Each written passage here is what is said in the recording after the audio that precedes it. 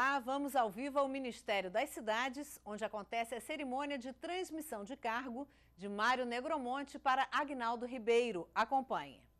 À frente do Ministério das Cidades.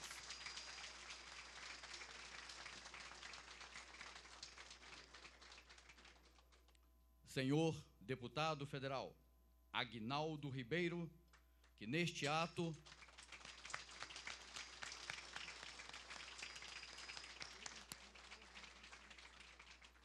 será o novo ministro de Estado das cidades. As autoridades da mesa se fazem acompanhar. Convidamos o senador, presidente do PP, Francisco Dornelles.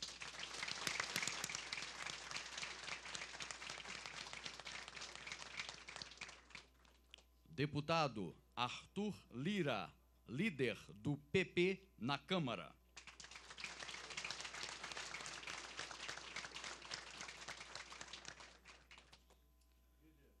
Senhor Carlos Marum, presidente do Fórum Nacional dos Secretários de Habitação e Desenvolvimento Urbano.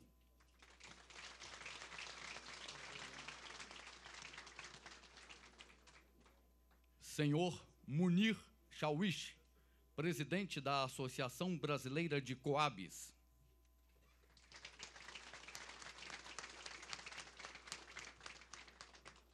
Senhor Silvio Magalhães Barros II, prefeito municipal de Maringá e presidente da Federação Nacional dos Consórcios Intermunicipais.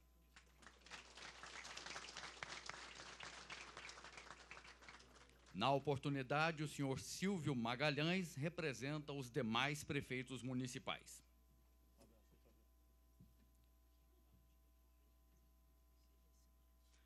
Senhora Bartíria Perpétuo, representando o Conselho das Cidades.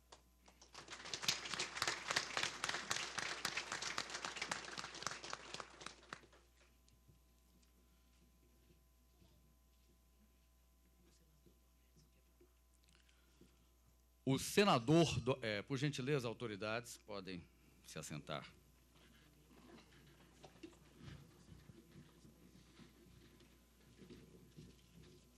Ouviremos as palavras do senhor Mário Negromonte.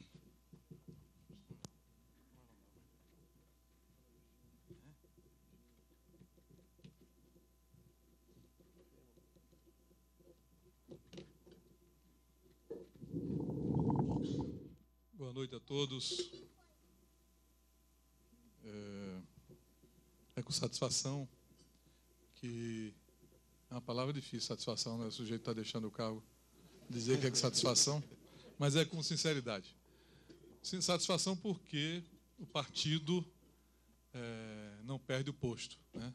Quem está assumindo é um companheiro amigo de partido, e isso é muito importante é, para o governo da presidenta Dilma, de manter o Partido Progressista na base aliada. Então, esse é o motivo da satisfação. Mas eu quero cumprimentar o ministro companheiro amigo Agnaldo Ribeiro, senador, presidente do nosso partido, Francisco Dornelles, por meio de quem eu cumprimento os demais senadores aqui presentes. O deputado Arthur Lira, líder do meu partido, Partido Progressista na Câmara, por meio de quem cumprimento os demais deputados. Eu quero aproveitar para parabenizar o deputado Arthur Lira, que é recém-eleito líder do nosso partido hoje na Câmara e dizer a ele que também conta comigo, que eu volto à Câmara para ajudá-lo nessa construção. A companheira doutora Inês Magalhães, secretária nacional da Habitação. Senhor Norma Oliveira, secretário nacional de Programas Urbanos. Sérgio Pano. Léo Degar Tiscoski, secretário nacional de Saneamento Ambiental, companheiro ex-deputado Léo Degar. Luiz Carlos Bueno, secretário nacional de Transporte e Mobilidade. Companheiro Francisco Colombo, diretor-presidente da Companhia Brasileira de Trens Urbanos. Senhor Júlio Arcover, diretor do Departamento Nacional de Trânsito. Senhor Carlos Martins, presidente do Fórum Nacional de Secretário de Habitação. Senhoras e senhores do Conselho da Cidade, eu quero cumprimentar a companheira Bartilha. Cuide bem dela, viu, ministro Agnaldo? ela representa os conselhos da cidade e o povo do conselho da cidade, que eu não pude dar uma atenção maior, mas eu tenho certeza que Agnaldo vai suprir essa ausência nossa. Eu botei Roberto para dar cola a vocês. Mas olha, foi uma experiência fantástica ao lado de vocês. Senhoras e senhores servidores do Ministério da Cidade, senhoras e senhores, eu queria iniciar. Primeiro também quero cumprimentar os familiares aqui do ministro Aguinaldo Ribeiro, seu pai, que foi meu colega aqui, deputado Enivaldo Ribeiro, e sua mãe, dona Virgínia. Quero cumprimentar os dois em nome de todos, familiares. É, eu quero dirigir primeiro uma palavra aos nossos funcionários. Quero dirigir uma palavra ao gabinete, os funcionários do meu gabinete. Hugo, a Cássio, a Vilma, a Fabiana, a Jussara, a Alessandra, Macier. Cadê o Macier? Não vi Macier aí. Companheiro Macier. O Baldo, Ferrosa, Ana Priscila e Rodrigo. Da Secretaria Executiva, o companheiro amigo Roberto Muniz foi meu companheiro, nos ajudou muito nessa batalha. A Barreto também a Marta Morosini, querida amiga, irmã, Marta Morosini, Tereza Cristina. Cadê a Tereza? Tereza está, viu, ministro? Tereza está incumbida de fazer, de reestruturar aí, o, ela fez um trabalho fantástico da reestruturação do Ministério, e o quadro do Ministério hoje deixa muito a desejar, é menor do que o do Ministério da Pesca. E os programas aqui são bem maiores, então tenho certeza que com seu prestígio e a gente ajudando vai reestruturar o Ministério da Cidade, deixar ele do tamanho que, que os programas exigem. Tereza Cristina, Bruno, Otávio, Elza, Edna, Márcia e Jane. Da Secretaria de Saneamento, companheiro Léo Degato Escócia, Viviane, Simões, a Yuri, a Manuel Renato, a Jônia, a César Sherry, eu vi César lá embaixo ali, César. Secretaria de Habitação, companheira amiga Inês Magalhães, Maria do Carmo, Mirna, Marta Gasque e Júnior. Secretaria de Mobilidade Urbana, Luiz Carlos Bueno, Luísa Gomide, Pazinato, Ricardo Caiado e Fábio. Secretaria de Planejamento Urbano, Norma Oliveira, Pedro Bastos, Alexandre, Marden e Celso. Quero eh, manifestar a minha gratidão a esses funcionários, porque sem eles, ministro Agnaldo, essa máquina não anda. Então eu quero agradecer de coração é, esses funcionários que são quadros qualificados, não só os que eu citei, mas todos do Ministério da Cidade. Nós somos apenas uma peça dessa engrenagem.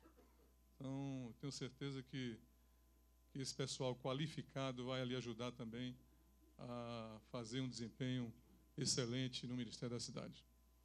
Então, eu quero dizer aos senhores que foi uma tarefa muito difícil, né, e, e a gente sabe, a presidenta disse hoje o tamanho do Ministério da Cidade, a importância dos programas né, do Minha Casa Minha Vida, que ela vai ter a oportunidade agora de entregar a casa de um milhão de saneamento básico, que a gente está trabalhando para universalizar é, o saneamento básico do Brasil.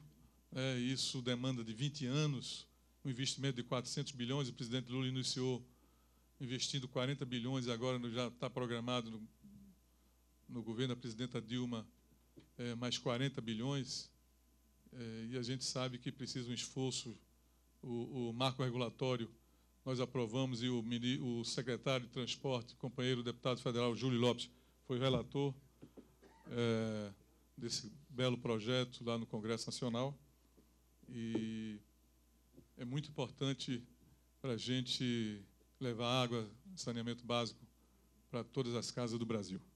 Esse é um grande desafio.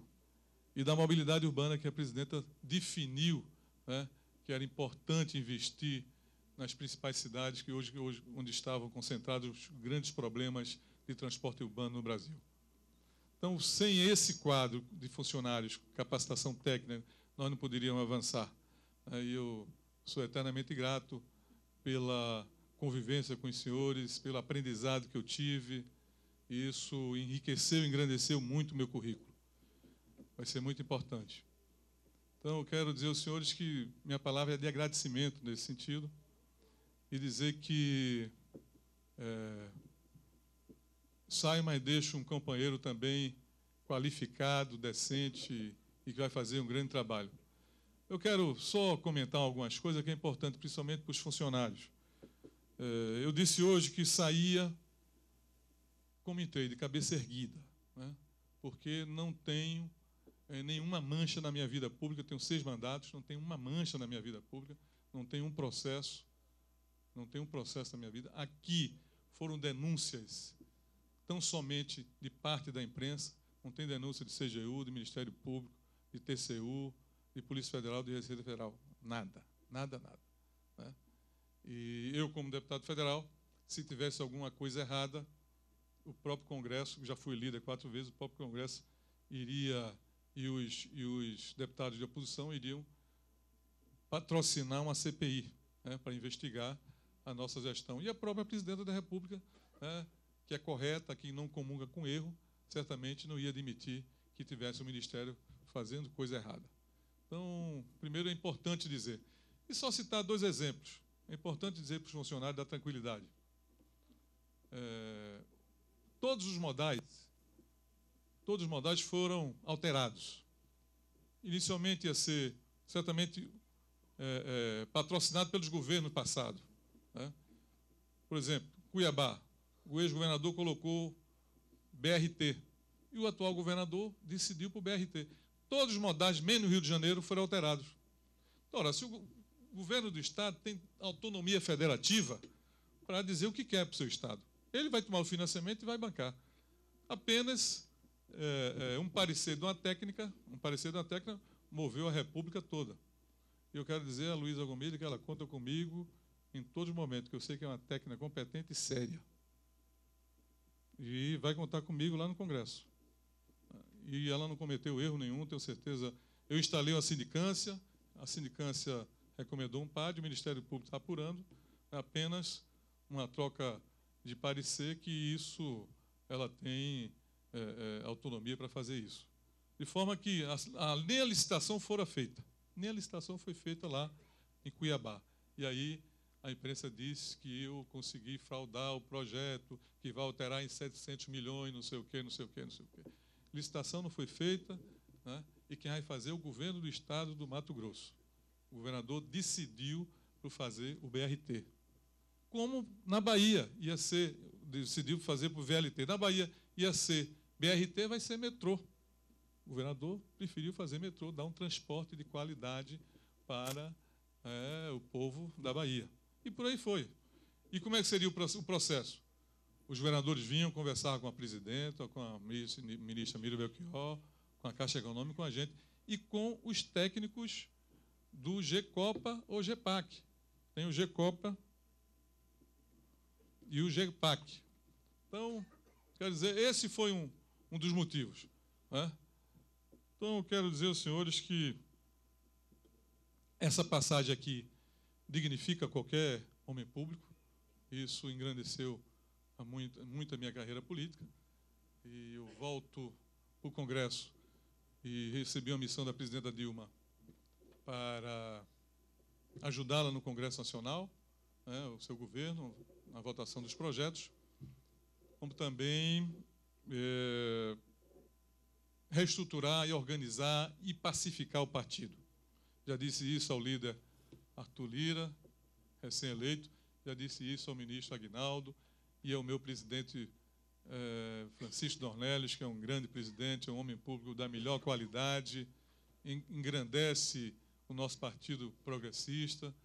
Então, eu quero dizer, ministro Aguinaldo, que eu, eu saio muito tranquilo, que eu sei que Vossa Excelência vai sentar na cadeira e vai dar continuidade a esses projetos do governo da presidenta Dilma, que eu sou muito grato a ela todos os gestos que ela fez comigo de, de cordialidade, gentileza, sempre com muito respeito, admiração. Hoje ela fez outros gestos comigo, sou muito grato a ela.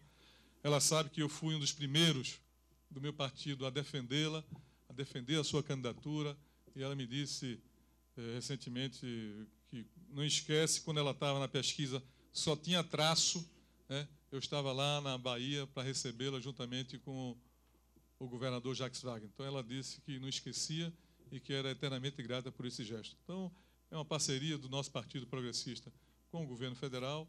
É, eu tenho certeza que o ministro Agnaldo Ribeiro vai dar conta do recado, porque é uma pessoa qualificada, foi secretário de Estado, foi deputado estadual, nesse primeiro mandato, nessa sua é, é, vivência e passa também a experiência do seu pai, Enivaldo Ribeiro. Tenho certeza, Agnaldo, que você vai dar um show frente a esse ministério e vai contar comigo né, é, é, para ajudá-lo, se for necessário, me procurar para a gente fazer um trabalho único, unir o partido, não tem essa coisa de dois lados. O Arthur me dizia isso, conta comigo, de forma que eu fico é, agradecido, muito agradecido, o pessoal do Conselho da Cidade, todos os companheiros, e dizer que podem contar comigo lá no Congresso Nacional e aos companheiros aqui, os funcionários da casa também. É, foi uma parceria muito importante e que vocês podem ficar certo que o Agnaldo Ribeiro certamente vai ser melhor do que eu. Muito obrigado.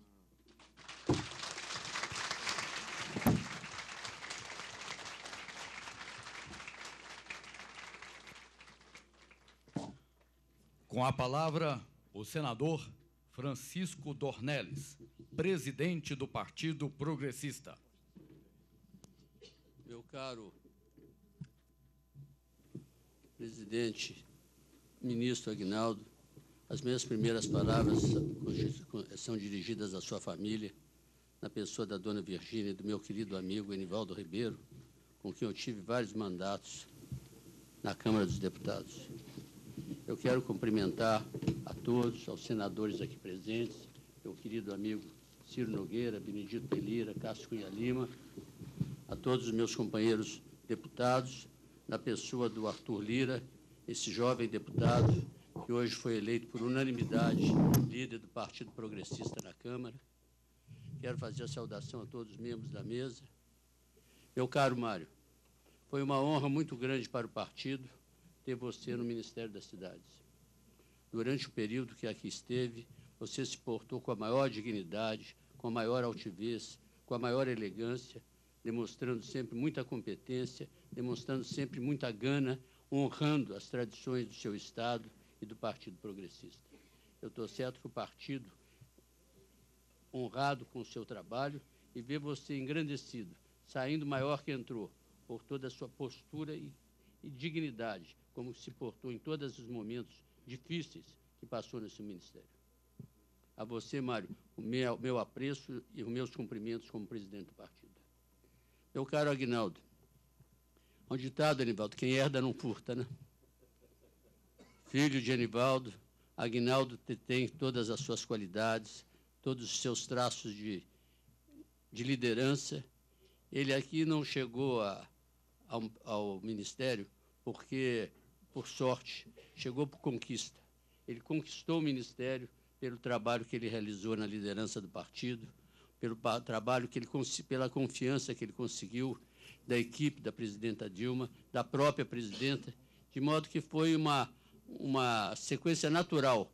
Ele chegou ao ministério por uma escolha direta da presidenta e estou certo que vai fazer um trabalho da maior importância vai dignificar também o partido como o Mário fez e terá o apoio nosso de um partido unido que deseja seu sucesso, que deseja que você tenha todas as, atinja todas as metas de administrativas e de gestão que você mencionou no Palácio do Planalto. Para você, muito sucesso e muito sucesso mesmo e o apoio integral do Partido Progressista. Muito obrigado.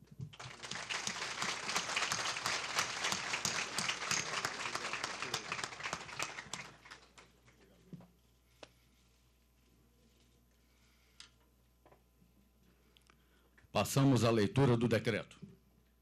A Presidenta da República, no uso da atribuição que lhe confere o artigo 84, inciso 1 da Constituição, resolve nomear Agnaldo Veloso Borges Ribeiro para exercer o cargo de Ministro de Estado das Cidades. Vamos conhecer um pouco de Sua Excelência, o novo Ministro das Cidades. Agnaldo Veloso Borges Ribeiro é natural da cidade de Campina Grande, no estado da Paraíba. Administrador